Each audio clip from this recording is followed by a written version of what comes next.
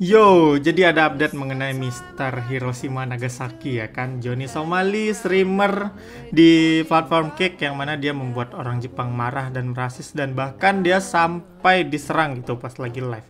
Jadi semenjak penyerangan tiga hari yang lalu itu dia memang sempat ngilang tiga hari kata kabarnya kan terakhir dia ditangkap polisi gitu dan tapi ternyata kemarin dia kemarin itu dia masih ada live di Tokyo jadi nggak dideportasi dia ya kan? Dan kemarin gue lihat banyak komentarnya gimana kalau dia di Indonesia seandainya gitu ya kan?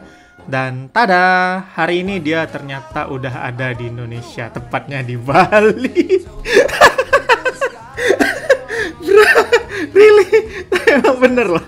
Jadi dia datang ke Bali ternyata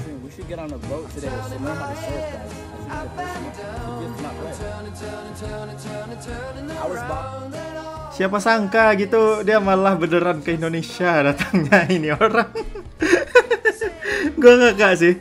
Jadi good news buat Jepang ya kan. Si Johnny Somali udah pergi dari Jepang tapi ya dia perginya nggak dideportasi sih kayaknya dia pergi baik-baik. Soalnya kemarin dia masih ada live di Jep di Tokyo kemarin. Ada live nya mungkin dia tadi malam lah mungkin berangkat ke ke Bali atau tadi pagi ya kan? Tapi itulah dia di channelnya di yang di Kick itu dia udah mulai aktif streaming di Bali. Bahkan udah beberapa video ini dia live streaming di Bali. Jadi mungkin dari pagi tadi dia udah ada di Bali ya. Jadi ya itulah dia.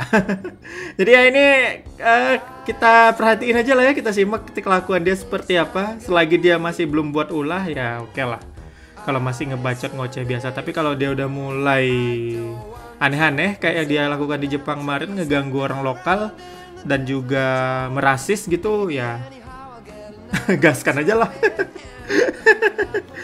Aduh gue ngakak loh bisa-bisa dia beneran ke Indonesia gitu setelah dari itu ya kan setelah dari Jepang.